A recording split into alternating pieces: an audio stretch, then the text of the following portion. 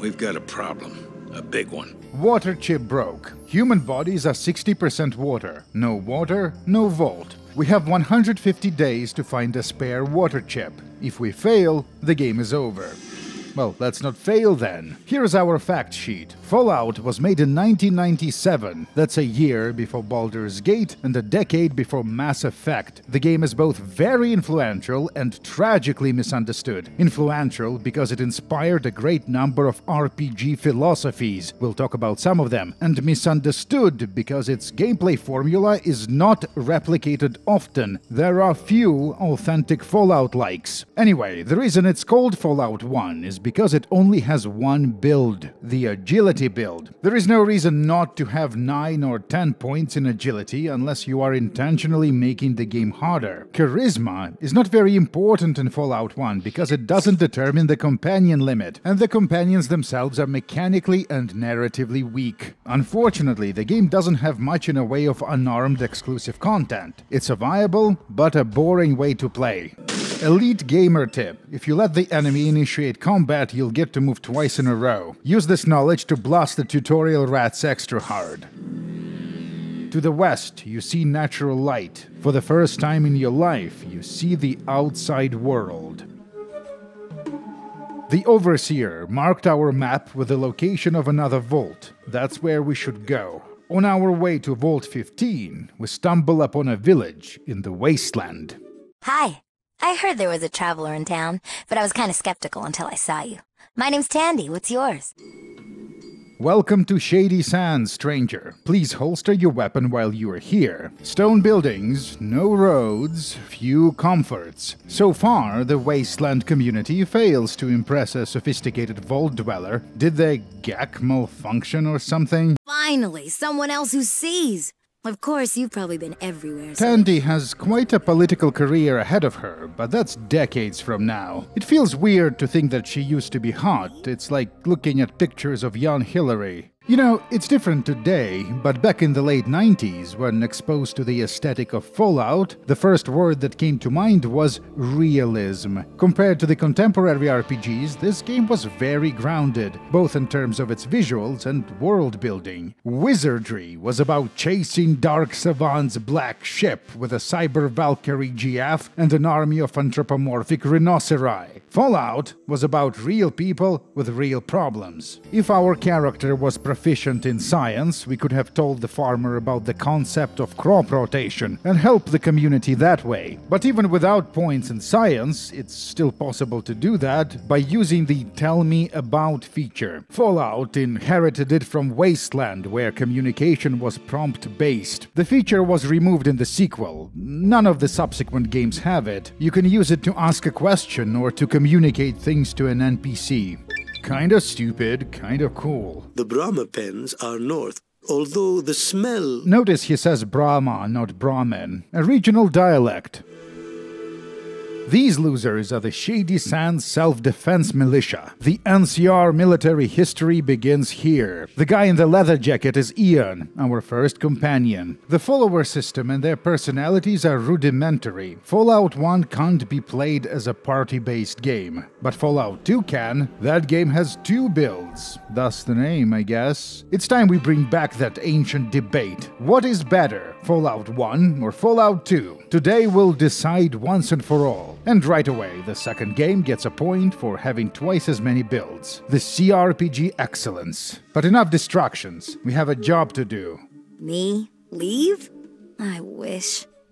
I don't know enough to leave alone. No one else wants to go. Worst of all, my father says he would have a heart attack if something happened to me. Vault 15 and its consequences have been a disaster for California. The population was a mix of radically diverse ideologies. The subsequent conflicts led to the emergence of several violent raider societies and a somewhat progressive village of Shady Sands that will eventually become NCR. Basically, Fallout predicted something awful. Manifesting the spirit of Vault 15, our companion Ian breaks the game by getting stuck in a doorframe. You can't push NPCs out of the way in Fallout 1, so I had to reload a save. There is something called Fallout Et Tu, which is an engine conversion that brings the functionality of Fallout 2 into the first game, including the ability to push away NPCs. The vault command and control is buried under rubble. We'll have to look for the water chip elsewhere. Well, I never thought it's gonna be easy. Take this spear. It was found where my daughter was last seen. Seth and I believe one of the Raider clans is responsible. Thank Dharma you're here, Wanderer. My girl, uh, Tandy, has been kidnapped, says the gate guard. The Wasteland Raiders base is less than a day away. Meet the Khans, one of the raider gangs that emerged from Vault 15. I love the music track. What do you offer for her release? asks the leader of the raiders. It might be good for your eternal soul, says the Vault dweller. But Garl Deathhand is not a spiritual man. Well, what's your plan? Duck and cover. That's your plan? The 10mm submachine gun can handle any early game threat no problem. Fallout 1 is reasonably generous with equipment. This is where Ian fell, an ex mercenary from the Crimson Caravan who stayed in Shady Sands because the locals were nice to him. Never speak ill of the dead and all that, but he really isn't very useful past this point anyway. Tandy joins us as a temporary companion. She will never leave until you go back to the village. You can take her on a tour of the wasteland if you want. Oh, that was great! Action, adventure! Anyway, if there's anything that I can do for you, There is a dialogue option to attempt to solicit sexual favors from Tandy, but that won't work. She only f***s cops. May the water you find in the desert not shine at you in the dark. Fraternal assistance to the brotherly people. The existence and the relative prosperity of Shady Sands kinda defangs the game's promise, doesn't it? The locals are friendly enough. There is no reason for the story to end should the vault run out of drinking water. We can just move in with these guys. There is a Polish fan game called V13 that uh, briefly explores a similar idea. Our vault has 133 days of water left. The search for the chip continues. We looted all sorts of garbage from the raiders, and now we need to find someone to sell it to. Cause, uh, one person's junk is another per. Segway. Get your butt in here and sit down. We got some business to discuss. A medium sized town surrounded by a wall of wrecked cars. That's the description provided by the info box. But how do we even know what a medium sized town is? We've only been in like two places. The location design is sometimes viewed as one of the strengths of Fallout 1 compared to the sequel. No stupid ass talking Deathclaw Vault in this one. And you know what? That's fair. But the first game has problems as well. It feels like the developers didn't quite figure out the best mapping practices yet. This is especially noticeable in Shady Sands and here in Junktown. It is as if there is a layer of detail missing. The buildings are way too far apart, making the maps annoying to navigate, visually boring, and frankly irrational. These are walled settlements. Real estate should be precious. In comparison, the Fallout 2 maps are more detailed, but not too detailed so that they would be annoying to read. Another point for the glorious sequel. Killian Darkwater's General Store. We got about everything you can need. Talking to Killian triggers a cutscene. The world's smartest assassin walks in alone, declares his intention to murder our host, and then promptly gets ventilated by Killian's three guards. I know Gizmo's behind this. The mayor is a due process kind of person, so we need to obtain proofs to convince the people of Junktown that Gizmo is up to no good. And here is our second companion, Dogmeat, the original. His owner passed away. The dog is depressed, and now it wages a one canine war on random residents of Junktown.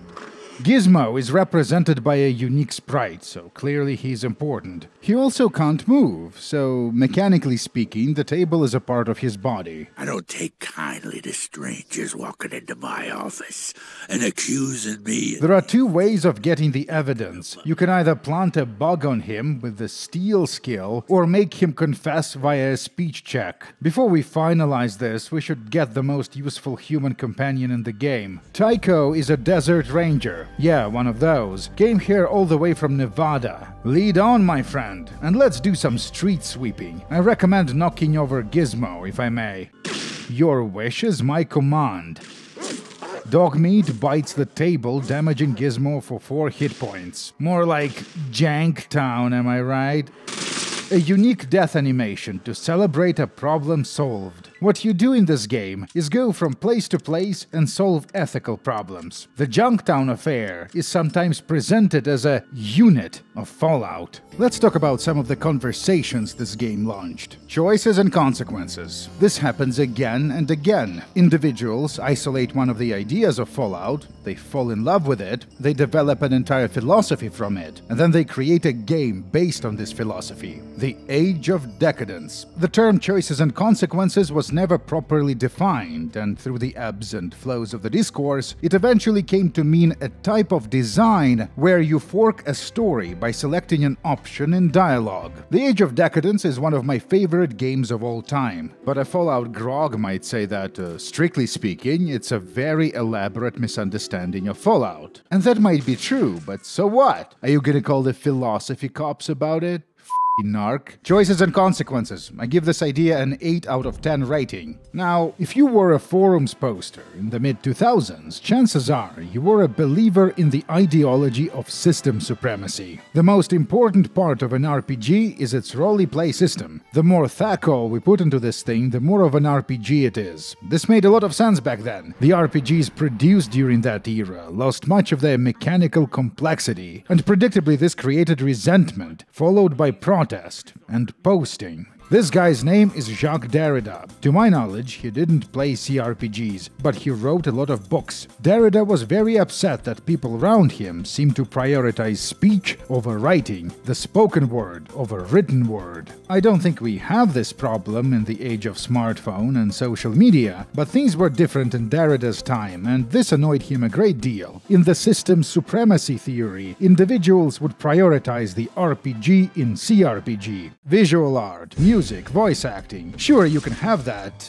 I mean, if you must, but the heart of the experience is its systems and formulas. The ambassador of these ideas is a controversial CRPG Swordflight, created using the Neverwinter 1 toolset. It's controversial because of its high difficulty. Swordflight is cleverly balanced around the use of consumables. It's a very good game, but there is a problem with Swordflight. It's the world's biggest sewer level. The first two installments include dozens of hours of sewer adventure, and even the outdoor segments are designed to be maze like and sewery so that they don't violate the theme, I guess. I should have known. When I saw Lilura evangelizing the virtues of swordflight to an audience of zero people on the Game FAQ's message boards, I should have known something was up. I give the systems theory 8 out of 10 points. Base Lilura f***ing everyone in the ass again. 125 days. The hub is a major trading center in the wasteland. It's bigger than all the previous locations combined. But the people of the hub had no life, and it was a desolate place just the same. Spare change, old friend, old pal? Can you help a poor mutant down on his luck? Sights to see. The bookstore. This is where you convert bottle caps into skill points in the science, repair, and other skills. An important money sink. Jacob the Trader used to be in the Union of Atomic Workers, a Brotherhood of Steel like faction wiped out by mutants years ago. The organization is never mentioned again, and its purpose is to explain why he has so much advanced technology in stock. This is the first time we see a heavy weapon. The Far Go traders have a problem. Their caravans keep disappearing. Some say it's the Deathclaw. The Hound of Bakersfield. The Deathclaw is the most evil thing to rise out of the ashes after the war. Some say it's a ghost that haunts the land. It's no ghost. Harold the Merchant saw it with his own eye. Ooh, that thing. Friend, that is Nightmare City. Why the hell you asking about that? Gonna kill it! Our first Deathclaw, and the unconscious body next to it is our first super mutant. The creature is an HP brick. It's fast and deals a ton of damage. We are armed with baby weapons. Typically, in a situation like this, you want to go for the eyes, but there is a problem with that. You can't look at him. It is said the Deathclaw can hypnotize just by looking. Then it walks up and boom, you're it. It's nothing as dramatic, but I wasn't able to blind the creature this way, so I shot it in the leg instead. That works. Dogmeat landed the final blow. The canine is already more useful than Ian, may God rest his soul. The super mutant is not long for this world either. The creature is incoherent. Father, where are you, father? Yes, master. The holodisk found on the body reveals that the mutant was part of some sort of a spec ops team that hunts caravans and kidnaps humans. The Deathclaw was innocent. How do you... 120 days. That's the Maltese Falcon, the wasteland mafia den. There's a certain merchant who's, how to phrase this, not cooperating fully with the underground. Decker the crime man heard about our adventures in Junktown and he hires us on the spot. The gangster quest line gives us a reason to explore some of the side areas of the hub, like the upper class district. You can snipe the merchant from this window here. You see, the last job I gave you was a test. The mafioso will then ask the Vault Dweller to kill the High Priestess Jane of the Children of the Cathedral, a humanitarian organization from LA. They operate a hospital in the Water Merchants District, a very uh, strange hospital. The patients are lying on the floor and babbling incoherently about holy flame. Have you studied the sacraments, child? Y- yes? Then you should know high elders of the cathedral do not just hand out blessings. It's not my job to educate you. We can get a lot more out of this character by using the Ask Me About feature. Tell me, Jane, who is the Master? There is no master but the holy flame. He is our master. He is the master of all. What do you know about mutants? They are holy, for they bear marks of past sins for present witnesses. Past sins, like the war? The inattention by those who came before caused the holy fires. It was justice. The characters in this game don't have a lot of dialogue. Fallout 1 is praised for its concise writing, but if you are intrigued by a person, you can usually extract more information from them via the Tell Me About feature. Unfortunately, it's missing from the subsequent games. We need like Fallout Et Tu but in reverse. A point for Fallout 1. Finally, I was getting worried. The patients get up to protect Jane from infidels, but they ain't much of a threat. Jane's bodyguard, however, is. Tycho has no problems gunning down unarmed civilians. That's the office of the water merchants. We can hire a caravan with supplies for Vault 13, extending the time limit, but I don't want the location of the vault to be discovered by the wrong people. You know what? We should upgrade our weapon. The best small gun in the game can be acquired via the quest given by this guy standing in the ruin near the Falcon. The job is to kill the raiders in the farmhouse. One of the bodies on the floor is Tycho. Yeah, rep. The reward is the 223 pistol, aka that gun from Vegas. In Fallout 1, it's a unique weapon. You can finish the game with it if you want. The final quest in the Decker chain is us ratting him out to the cops. This is a sophisticated encounter. Decker himself is a rare throwing knife user and is essentially harmless. But this guy, Kane, his second in command, might be the single most dangerous melee combatant in this entire campaign. My strategy for the fight is to shoot Kane in the leg to slow him down, and then allow the cops and dog meat to soak up damage while I take pot shots from the safety of the back room. This eventually worked. Unfortunately, Kane tore apart Dogmeat with his bare hands. The sheriff got killed as well, but his assistant gives us the reward no problem. 115 days. Our best bet is Vault 12, located in the nearby ghoul city of Necropolis. The ghouls trade with humans, so the safest way of getting there is by working with one of the caravan companies here in the hub. Crimson Caravan pays the best. Listen, Walker, I don't do the deal with norms, so blowing smoke up the tail ain't gonna get you head seat at the table. Bakersfield, aka Necropolis, 105 days. The merchant says they're gonna be heading back to the hub in a few hours, but I don't think we'll be going with them.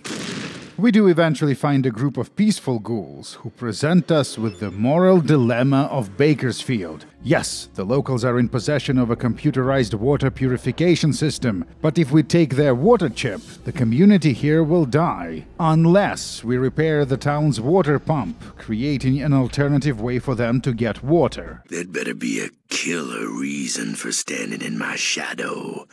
Does next on the menu ring a bell for you, Normie? I'm no normie. I'm schizo. PMC hogtard. The mutants at the watershed need dirt naps. Makes my shadow grow. The plot lines converge on the water pump. The good guy ghouls want us to repair it, the bad guy ghouls want us to kill the mutants occupying it, and we want to recover the water chip from the vault accessible from this location. Or to say, not ghoul, not be here. Well, I'll be leaving then. Oh, uh, okay. Have nice day. You know, maybe we should take this opportunity to learn more about the mutant community. Who is the master? I don't know, but think he like a boss people. What is the unity? The you you you I don't. This conversation provides an option to do one hell of a sequence break. We can ask Harry to take us to their leader, who is one of the two endgame adversaries of Fallout, residing at a military base at the edge of the map. Hmm, okay. Take it to Lou. Getting there takes more than a week of in game time, but from the player's point of view, it's instantaneous, which is a little jarring. Feels like you are being teleported. It's a narrative design mistake. As the industry grew in size, more and more people were indoctrinated into the video gamer and the video game discourser lifestyles. The previous ideas were reductionist. You isolate a handful of qualities these games possess, and then you obsess over them. Narrative design was the opposite. It was about examining the game as a sum of its parts. Everything is important. And that sounds great. Finally, a foolproof theory to save RPGs. So one day, an upstart company called Obsidian releases a video game, Fallout New Vegas, based on Bethesda's hit franchise Fallout. Narrative philosophers from the popular show Extra Credits subject the game to thinkery and analysis, and they are disappointed. New Vegas is not good enough. Actually, it's hard to identify the main idea in this mess of a script. Like, they keep asking for features the game already has. They seem to be under the impression that the protagonist of New Vegas has amnesia, which they don't. TLDR, basically, they want the game to focus less on the world and more on the player. Be less like Morrowind and more like Skyrim, or like the sensational game Fallout the Frontier. Wait, is this why the New Vegas mods are the way they are?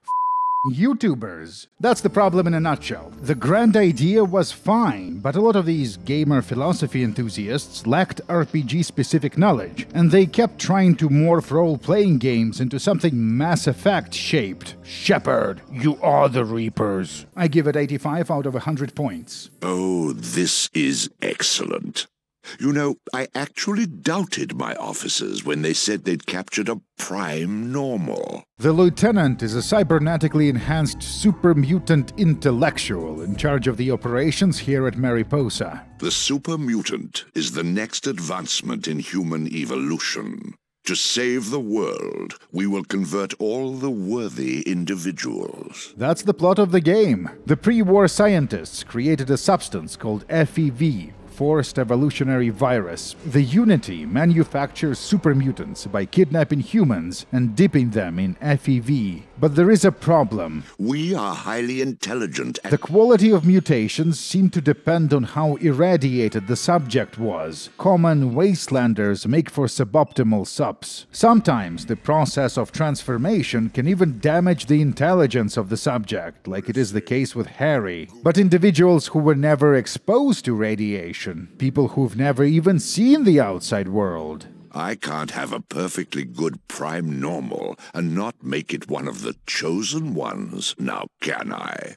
After you tell me where your vault is. Interesting fact compounds that dramatically alter your body composition have existed IRL for a long time. And the lifestyle enthusiasts know that, well, the first question should always be Will my genitals still work after this is over? We shall see, won't we? That's not very reassuring, Lou. Our refusal to join the Unity is followed by a unique real time combat sequence. We are not yet strong enough to kill the Lieutenant, so we flee to fight another day.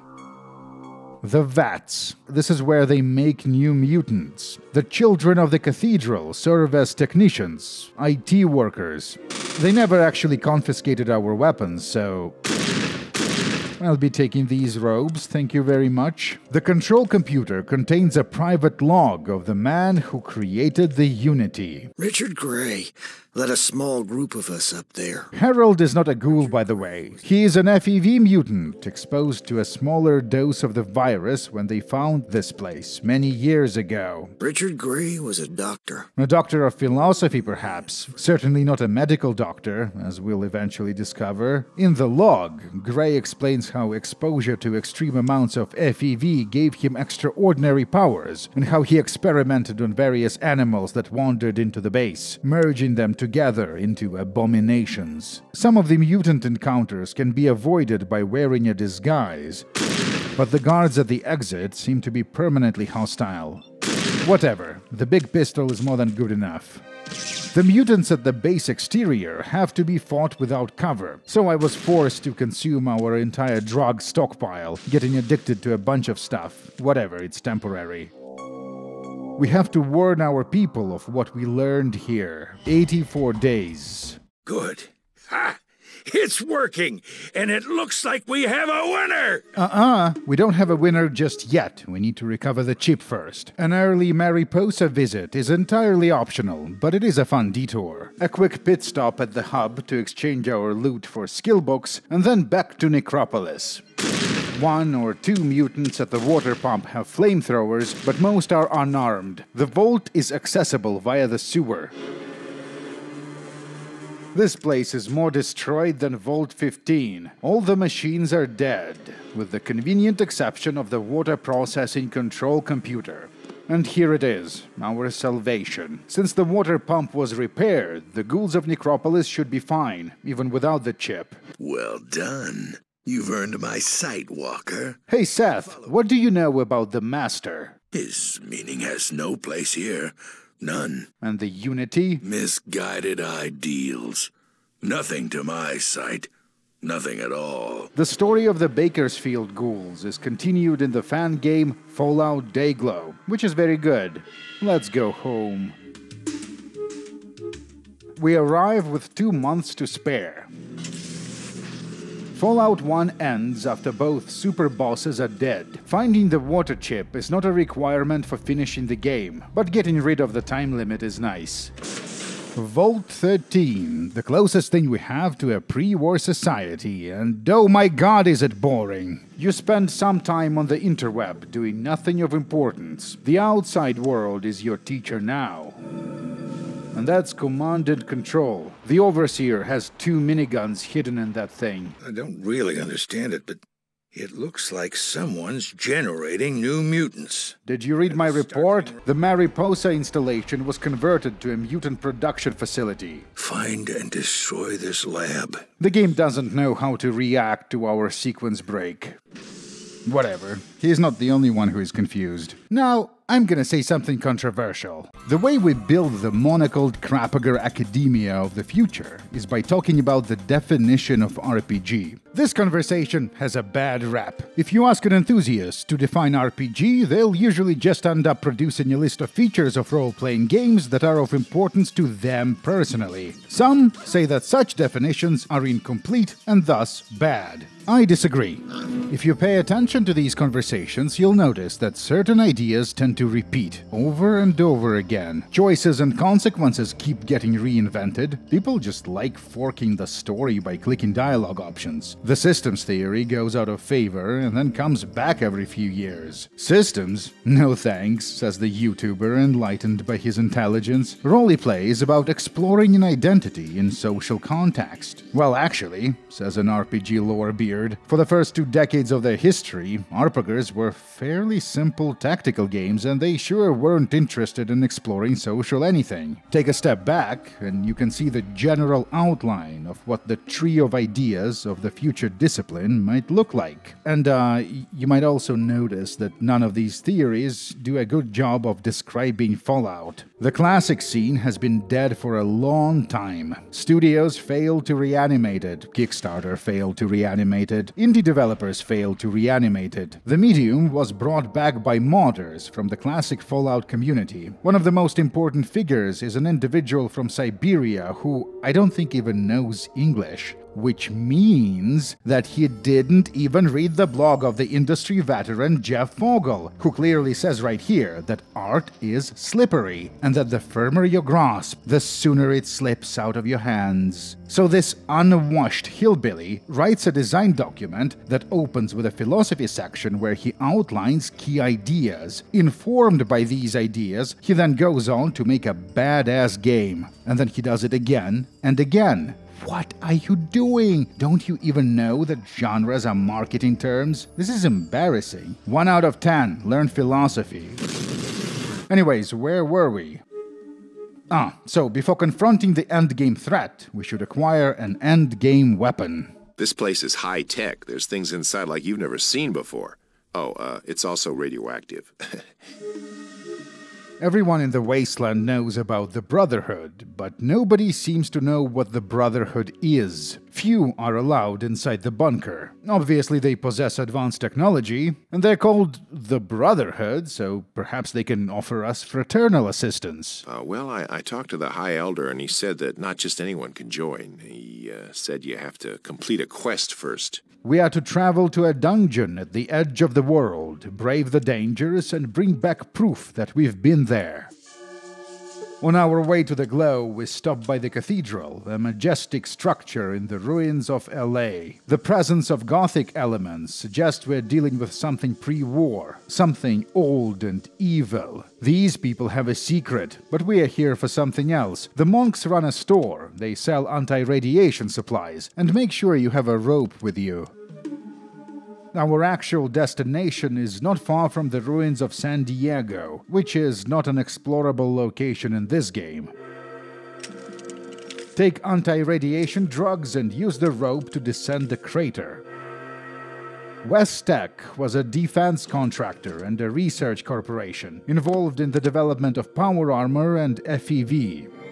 The holodisc found on the body of the Brotherhood troop speaks of the dangers of the glow, but it's mostly just vibes. The invisible killer that is radiation can be managed by drugs. The automated defenses won't come online until we turn the power on. The loot is fantastic combat armor, energy weapons, big guns, but in order to fully explore the facility, we do have to turn on the lights.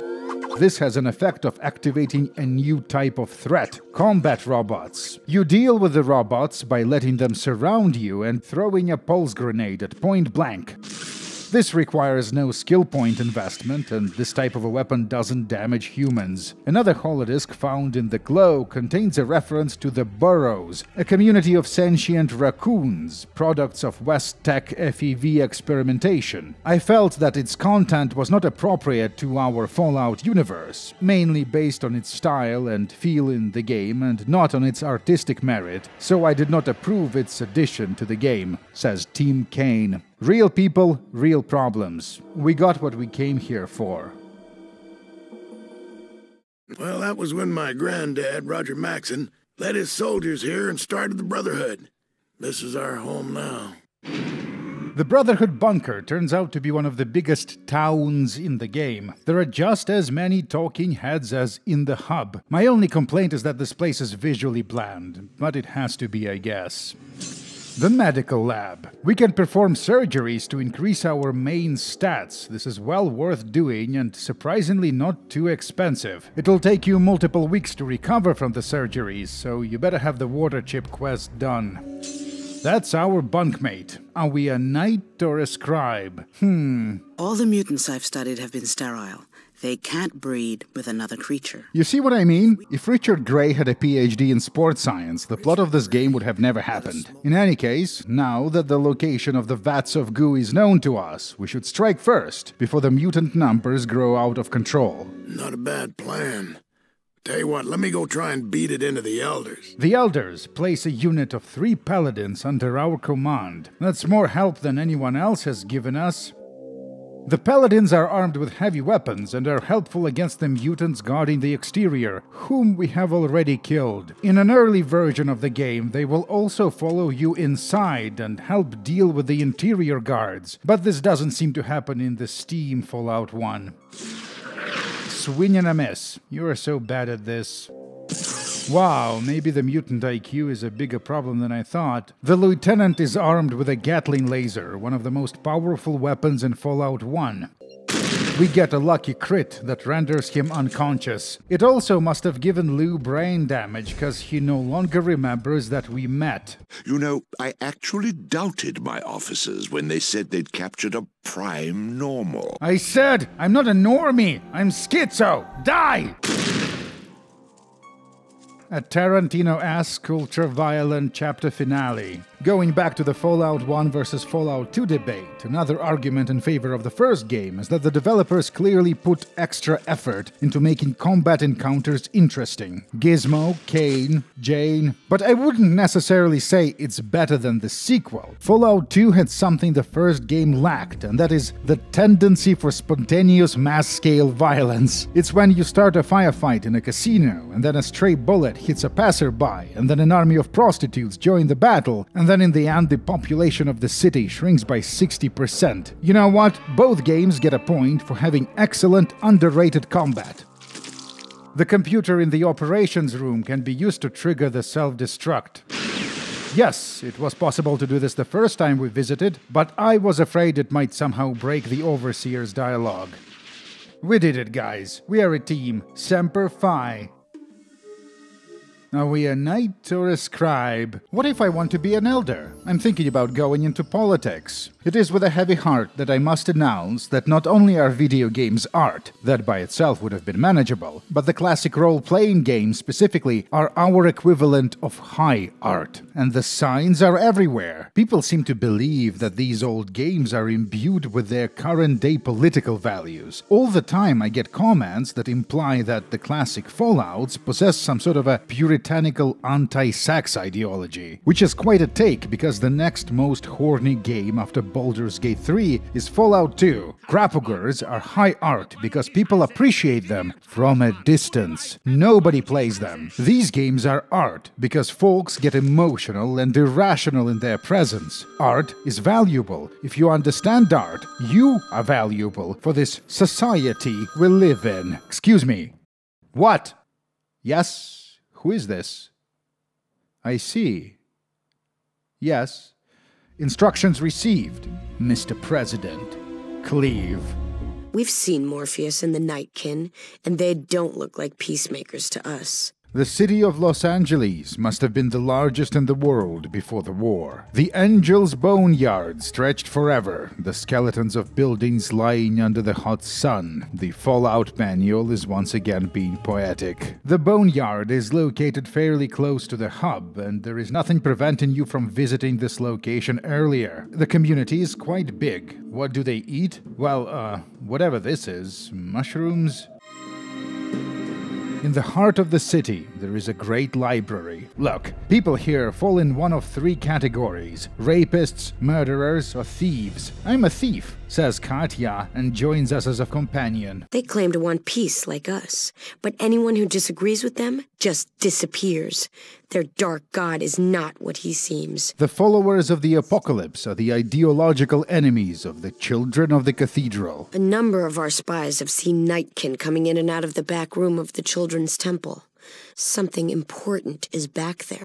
Downstairs, among the shelves in the followers' library, we meet another Vault Dweller from Vault 13. Talius was on a similar journey as us, sent out into the wasteland in search for a water chip, discovered the ghoul community in Necropolis, fought the super mutant garrison, was captured, taken to Lou, but something went wrong during his transformation, or maybe something went right. He was rescued by the followers. Talius never became a full soup. Instead, he's a ghoul like mutant, similar to Harold.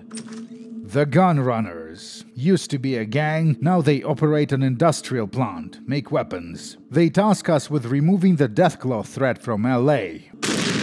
Our pistol is just barely adequate. Unfortunately, this is where Katya departs from Team Vault Dweller. If you talk to her corpse, it'll warn you of the dangers of Deathclaws. Paranormal. That's it. There are four Deathclaws in this entire game, unless you get a rare random encounter around the hub. The gunrunners are impressed. Alright, time to get serious. I put a bunch of skill points I've been saving into energy weapons, buy a plasma rifle from the gunrunners, and then go to Smitty from the Boneyard, who upgrades it to Turbo Plasma Rifle, the best damage per action point weapon in the game, with the exception of the Easter egg gun found in a rare special encounter. There are three ways of getting power armor. The easiest way is to go back to the hub, rescue a Brotherhood troop kidnapped by the gangsters, and then ask the quartermaster for power armor as reward. Endgame weapon, endgame armor. Alright, let's go meet Richard. The Nightkin came to us a while ago. They might be hideous mutants, but they are extremely loyal to the children, as we all are. The majestic cathedral building is the seat of power for Morpheus, the leader of the children, and below the church is the Los Angeles Vault, Master's headquarters. You should see Morpheus, the High Priest. I'm sure he can help you much more than I. Laura is a spy for the followers. Oh, those are dreadful people. I'm not going to talk about them at all. I've read that it's possible to get the followers to support the cathedral assault in the same way the paladins support the attack on the military base, but I've never been able to trigger it. Nightkin? I don't know what you're talking about. The Nightkin are elite super mutants equipped with permanently active stealth devices. This doesn't seem to have any mechanical effect whatsoever. I guess that gives them a spooky aesthetic. That matters, right? I love when the game simply never stops introducing new ideas. Seems like one of the secrets of a good story. The unity is our search for a higher level of life, and unity with our fellow man. Unlike the Master, Morpheus is an LA local, now serving as the public face of Unity. So you are the vault dweller I've been hearing about. Surprised? I have my sources. Now I will take you as a gift to the Master. This is another shortcut. It's possible to skip a bunch of areas and go straight to the Master. But I see no reason to take shortcuts anymore. The Nightkin are tough and all, but the combination of a turbo plasma rifle and power armor makes us an apex predator. The entrance to the LA vault is concealed behind a fake wall. Floaters and centaurs, masters, pets, and experiments. It's possible to meet them in the desert around the military base, but the only guaranteed encounter is right here, below the cathedral. That's a pleasantly clean vault, isn't it? Ah, but I take that back. The lower levels are covered in previously unseen biomass, which is either a conduit for Master's psychic powers or an independent living creature capable of invading the minds of the unprepared. The walls are alive with those who have gone before. We persuade one of the victims of experimentation to give us his psychic nullifier, removing the final obstacle between ourselves and the Master. The Unity will bring about the master race. Master. Master! One able to survive, or even Thrive. in the wasteland. It is, of course, possible to solve the master problem in a non violent way by presenting Vree's evidence that mutants can't reproduce. But I don't like doing that, because it robs us of a fight with a unique enemy and a Tarantino animation. Mutants are best equipped to deal with the world today. Who else? The ghouls? Please. Normals? Careful, Richard. As long as there are differences, we will Tear ourselves apart! fighting each other. We need one race, Race. Race! one goal, Goal! Goal. one people. Do you get it? It's called having a theme. The game opens with War Never Changes, and then we travel around California and find people at war with each other and themselves. Finally, we meet the antagonist, and he is like, I'm gonna stop all war. But in order to stop war, he needs to wage war. Hypocritical much? Anyway, that's the point of the story. Or is it? All YouTubers have a paranormal ability to extract profound truths about society, capitalism, and invisible structures of power seemingly from any piece of media. It is as if there is a vat somewhere that manufactures this type of person. And indeed there is. It's on the island of Patmos in Greece. Some individuals, brainwashed by years of exposure to YouTube, think that this is what media criticism is. But no, it's just the albino mutation talking. It's a way of doing things. And for our purposes, it's not even good. In a game like Fallout, the job of the designer is to provide you the tools to assemble the story with, and theming applied to individual bits and pieces doesn't determine the meaning of that story. That is up to you to decide. Or perhaps it's not even useful to focus on meaning. Perhaps we should understand Fallout in the same way we understand another person, in the same way we understand a friend. This is an awkward time to be sharing this, but I'm something of a believer in the Unity. The organization has a lot to offer to mankind, and every problem with it is solvable. Look how filthy this environment is. I bet you can reduce the percentage of adverse side effects simply by vacuuming the place. Get a Roomba. Sterilization? That sucks. But what if we only converted individuals who already had kids? And look how crude is the procedure. What if we lower the dosages? What if instead of super mutants we made uh, intermediate mutants? You know, get some benefits of mutation, but without the sides. It took a lot of time and labor to build this organization. Unity could have been the Bene Gesserit of California. But that's not the point of the story, is it? War never changes, but people do. Can never thank you enough for what you've done. You've saved all our lives. That makes the rest of this even harder. You can never go home again. The Overseer character wasn't given a name. The voice actor is Kenneth Mars. Everyone will want to talk to you. Every youngster will look up to you and want to emulate you. They'll want to leave. What happens to the vault if we lose the best of a generation? Hey, Kenny! It's like I said, human body is 60% water. Now we travel north to Hyperborea, away from the Nephilim miscreants. I'll build my own vault, spread the Neanderthal seed, and just keep putting one foot in front of the other. Alright, patron credits, and then we'll finish the debate about what is better, Fallout 1 or Fallout 2. Give me all your money via the crowdfunding platform Patreon. Do it now. These videos are funded by enthusiasts, including Jim Lawrence, Danny Kilpatrick, Frog, Darkbot Pumpkin, Billy Strayhorn, Yuri Solodovnichenko, Eric Luitkehans. My next video will be on I Divine Cybermancy, I Feed My Parrot Chicken, Ilya Rubin, Maciej, Va, 1967 Ford Mustang, Source is the best engine ever made, Tony Spagoni, Ganzo Bomber Motherfucker, Miracle Moses Porter, Azazel and Baneful the Doggo, a two-room apartment in Bobruisk, Belarus Alt, C6, Snafu, Ray Ners, Gang Warfare Enthusiast, Dmitry U, Buck Swope, and Serpen.